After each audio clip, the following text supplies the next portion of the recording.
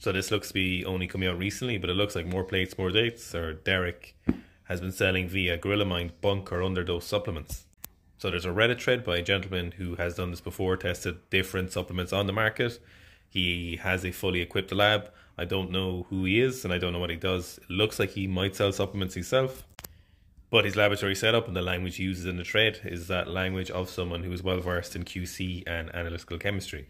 So Derek has acknowledged it on his own subreddit, but obviously acknowledging the fact of saying that your man is incorrect and they've done multiple third party testing. So some of you might know I worked in QC and pharmaceutical for a long time in different kinds of companies, and the language this gentleman uses and the logic he is saying, and if he's telling the truth, would appear to make him correct. If you would like a longer video and you want to listen to it, I'll talk through it and give some of my thoughts tomorrow. But uh, very interesting, if true,